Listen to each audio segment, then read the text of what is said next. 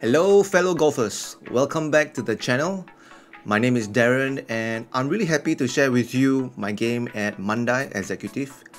It's a golf course where I started out playing as a beginner. Yes, we all started somewhere and this is the course which I started out playing at. This has brought back memories and I remember that when I started playing here, it wasn't that good. Uh, lots of duffs and tops and because the grass here it's a uh, muddy, uh, it's cow grass so uh, there's not much that you can expect from your game over here. So I'm just going to share with you a very few simple tips on how you can actually uh, play better on this course. Uh, one would definitely be when you miss the green, the way we handle the grass or should I say the short game will actually help you with uh, a lower score. So as you can see over here the grass type is cow grass and there is uh, mud. It can get really muddy and we tend to normally dig in a bit too much and duffs and tops are quite common around this uh, type of grass. So this is how we can do well on these situations. First, you would definitely want to have a narrow stance to help you with your rotation. Second, little or no wrist hinge and have your club head swinging below your hips. If you like this tip, uh, like and subscribe and share with your friends and I hope that you play good golf. Hole 2 is a par 4, it's dog leg right. I can take a driver and hit it towards the green, but what's the fun in that? So with a 3 iron, I'm just going to hit it down the center of the green and lift myself with an approach wedge.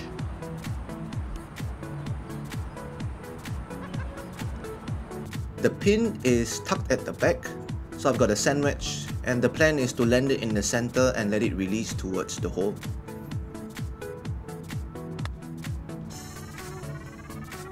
Did not strike this too well. So now I'm left with a really long putt and the putt can get really slow on these greens. So you have to give it a good whack. Just some things to take note, um, there isn't much break on these greens so you can pretty much go straight for it.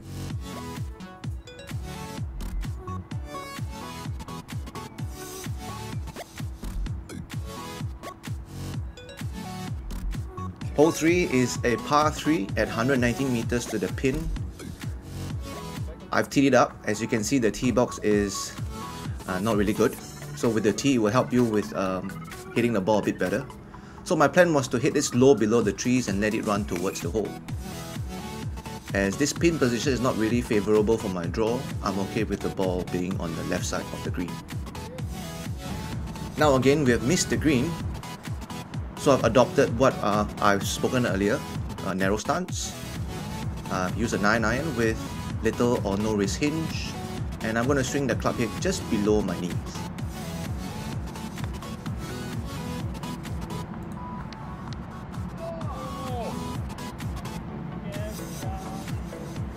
Hole 4, the pin is at the back at 131 meters. A 9 iron would get me there. Just get the ball on the green and have a good look for birdie.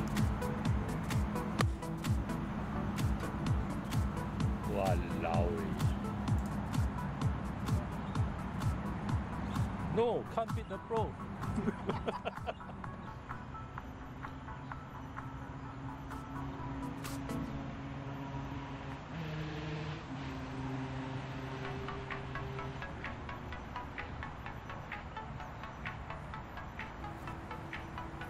Hole 5 is a par 4 uh, that is dog leg left.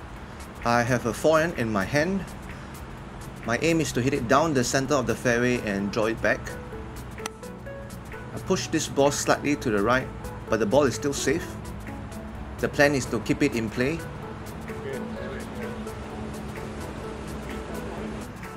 Now with 140 meters, I've got an 8 iron. I'm planning to hit it over the tree on the right side and draw it back.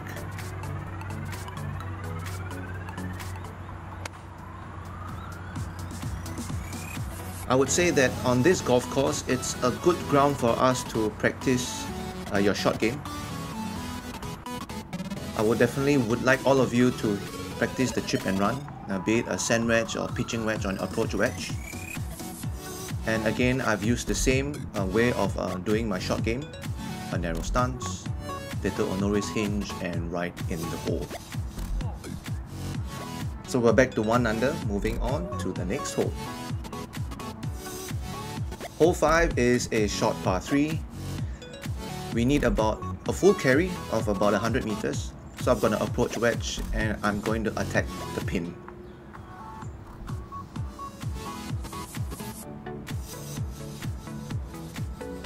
So the ball landed about 3 feet short of the hole and a tap in putt for birdie. On this hole we've got 145 meters. I've actually brought the wrong club, I've got a 9 iron and my 9 doesn't go 145 meters for sure. But I was trying to aim this uh, far right of the green and hook it back to the pin hoping that the ball would actually go 145 meters. But uh, wishful thinking, uh, the ball landed short of the green and again I'm going to rely on my shot game to get up and down. Your shot game will be the essential uh, part of your game that you're going to help with your scoring. So by learning how to be efficient with your shot game technique is crucial.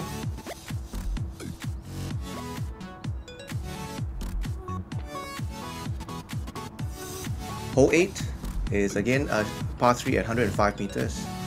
With an approach wedge, I'm going straight for the pin chanting my hole in one.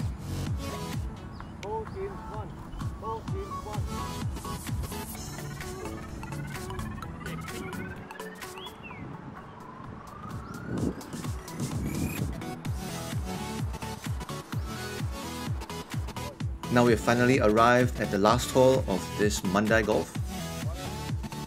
The lie is uh, below my feet, it's slightly downhill so I opt for a 9 iron with a 3 quarter swing so that I can get good contact on the ball and get the ball towards the green. Hopefully with this putt, I can get myself another birdie and cut a 4 under.